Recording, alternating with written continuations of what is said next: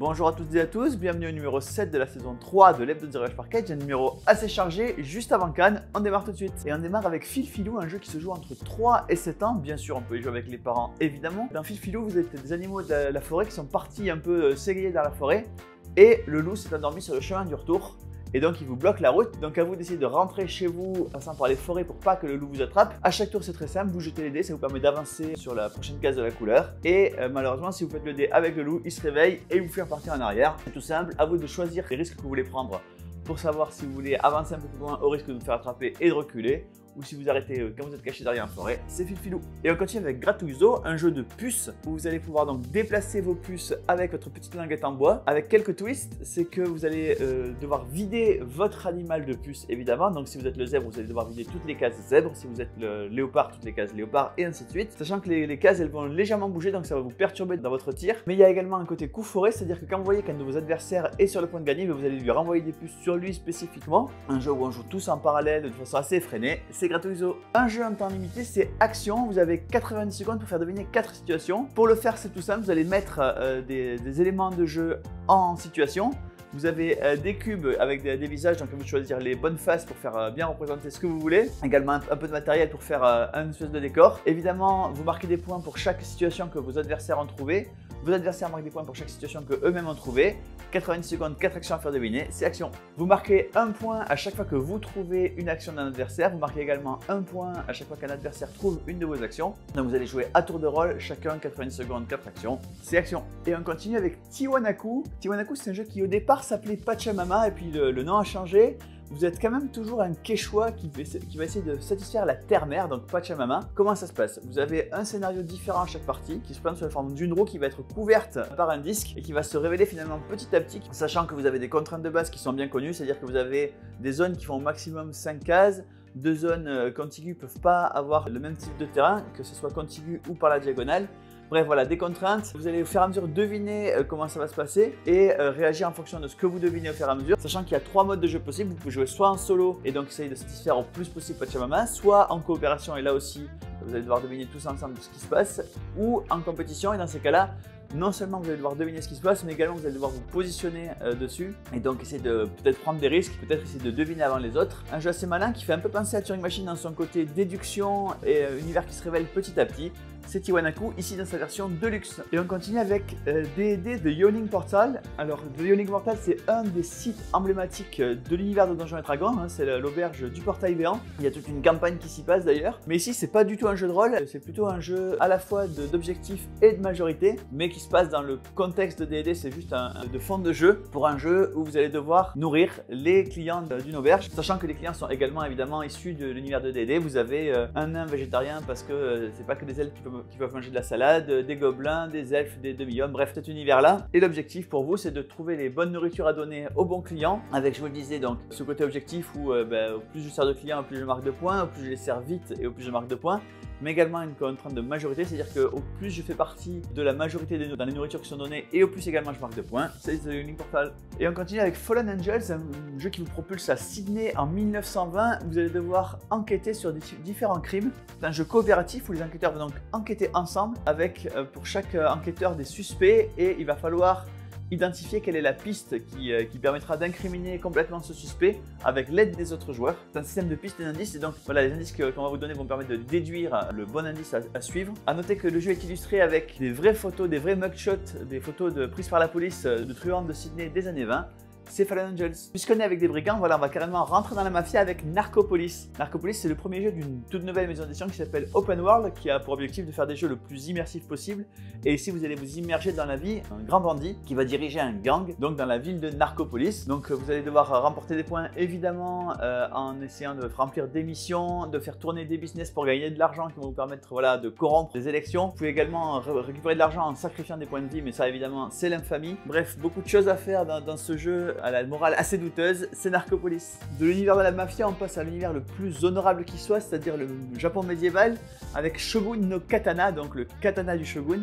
Dans Shogun no Katana, vous allez devoir fabriquer des katanas, comme son nom l'indique, et celui qui fabrique les plus beaux katanas remporte la partie. Et évidemment, au plus vous fabriquez de katanas et au plus vous marquez de points, donc vous avez un atelier que vous allez remplir au fur et à mesure de la partie. Évidemment, au plus vous allez fabriquer de katanas et au plus vous allez marquer de points, donc à vous de faire passer un maximum de katanas dans votre atelier, sachant que votre atelier il a différents étals, euh, une partie pour fabriquer la lame, une partie pour fabriquer le manche, un atelier pour le travail du cuir, bref, tout ce qui compose un katana. Et donc, à vous d'être assez malin pour faire passer le katana dans les différentes étapes un peu comme du travail à la chaîne, mais évidemment s'il y a le moindre engrenage qui se griffe dans cette chaîne, et eh ben, ça va bloquer tous vos katanas les uns derrière les autres. Donc à vous de vous assurer que vous avez bien toutes vos ressources en bois, en métal, en cuir pour fabriquer votre katana. Et comme la grosse boîte de Shogun no Katana ne suffit pas, il y a pas mal de matériel additionnel en plus. Vous avez euh, des statuettes pour les, personnages errants et deux nouveaux personnages errants. Le moine qui va vous rapporter des points si vous le nourrissez avec du riz, la geisha qui va vous rapporter des points si vous assistez à ces spectacles, et également deux jetons supplémentaires pour compter les tours et pour marquer le premier joueur, donc le lion et la pagode.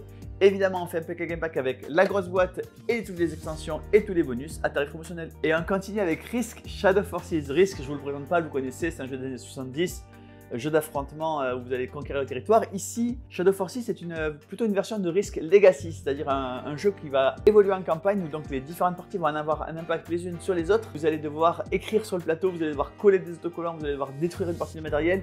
Vous avez également quatre enveloppes et une boîte euh, que vous allez ouvrir au fur et à mesure de la partie. Donc voilà, il n'y aura pas deux parties pareilles, chaque boîte de risque aura son histoire différente, sa façon de jouer différente à la fin de toutes les parties qui ont évolué au fur et à mesure. A noter que Shadow Forces, il va y avoir une mécanique un peu particulière, notamment des seigneurs de guerre qui vont faire des, affrontements un peu tactiques au cours de la partie qui vont changer la partie d'une partie sur l'autre. C'est Risk Shadow Forces. Et on continue avec deux nouveaux Inside Cube. Inside Cube, c'est ce jeu où vous allez devoir faire progresser une bille en métal dans un labyrinthe. Vous avez la version purement cubique de Inside Cube dans laquelle voilà, vous avez différents étages et donc le but c'est de faire passer la bille de tout en haut à tout en bas avec le plan du labyrinthe sur le dessus de la boîte. Et vous avez les Inside Cube plats avec une histoire. Ici c'est Conan le barbare. Donc évidemment des illustrations qui correspondent à Conan, mais aussi un parcours qui correspond aux illustrations. Donc de nouveau Inside Cube, le Conan le barbare et le Brain Killer, le Inside Cube violet. Et on continue avec un nouveau Rubik's Cube. C'est pas vraiment pour les débutants puisque euh, non seulement vous avez la difficulté normale du Rubik's Cube euh, habituel, mais en plus toutes les faces sont noires et elle ne se révèle que quand vous touchez le Rubik's Cube. Donc à vous euh, voilà, de le toucher pour le réchauffer pour que les couleurs apparaissent. Évidemment, vous n'avez pas tout le temps pour le faire puisque au fur et à mesure la couleur s'estompe et donc vous allez devoir recommencer et recommencer à caresser votre Rubik's Cube pour que les couleurs apparaissent. Une difficulté évidemment bien supérieure au Rubik's Cube standard, c'est le Rubik's Cube Phantom. Et on continue avec une nouvelle version de Love Letter, c'est Love Letter Princesse Princesse. Princesse Princesse, c'est une illustration de Kay O'Neill, qui est une illustratrice néo-zélandaise, euh, qui donc a fait toute une série de BD. L'histoire de, ces BD sont reprises ici dans Love Letter. La mécanique du jeu ne change pas, ce sont les, mêmes, les mêmes cartes et les mêmes fonctionnements que Love Letter, mais avec évidemment les illustrations de Kay O'Neill. C'est Love Letter Princesse Princesse. Et on continue avec Subterra 2 de Team Pinder. Subterra, euh, c'est un jeu qui a eu son succès, euh, dans lequel vous exploriez des grottes sombres et vous essayez de vous en sortir tous ensemble. Dans Subterra 2, c'est un peu pareil, sauf que au lieu d'avoir des, grottes sombres, ici c'est plutôt une thématique euh, de feu, puisque vous allez explorer un volcan, ou plutôt un temple dans un volcan perdu. Préparez-vous à affronter des torrents de lave, mais aussi des démons et plein d'autres choses. D'ailleurs, euh, pas mal d'extensions sont prévues pour ce jeu. Elles vont arriver au fur et à mesure, évidemment, je vous en parlerai dans les hebdos des semaines où elles arriveront. Mais en tout cas, déjà, il y a le Subterra 2, il y a les figurines, et bien sûr, il y aura un PK Game Pack avec Subterra 2 et les figurines. Et on continue avec la suite du tournoi de Camelot, c'est le tournoi d'Avalon. Le tournoi d'Avalon, c'est un jeu qui se joue sans problème en standalone. Vous pouvez acheter le tournoi et y jouer, mais qui se joue aussi combiné avec tournoi de Camelot pour jouer avec 8 joueurs si vous avez les deux boîtes, ou 4 ou 5 ou 6 joueurs, mais avec plus de variété évidemment dans les parties. Le principe est toujours le même, c'est toujours un jeu de pli dans lequel voilà, des chevaliers qui vont s'affronter. Quand un chevalier arrive à 0 point de vie, il a perdu et on regarde qui est le chevalier qui est en tête à ce moment-là et c'est lui qui remporte la partie. Pas mal de négociations, mais aussi voilà, le côté le leader va aller taper sur le dernier, mais les autres joueurs vont essayer de le défendre, quitte peut-être à prendre eux-mêmes des blessures, mais euh, pour gagner un peu de temps pour essayer de revenir sur le leader c'est le tournoi d'Avalon. Et on continue avec une nouvelle extension pour le jeu Seven Wonders d'Antoine Boza, que beaucoup d'entre vous connaissent, je n'en doute pas. Cette nouvelle extension s'appelle Edifice. C'est une extension qui a été pensée pour être éventuellement la première extension que vous allez jouer parce que C'est sans doute la plus simple, mais elle apporte une nouvelle dimension, une nouvelle interaction au jeu Seven Wonders.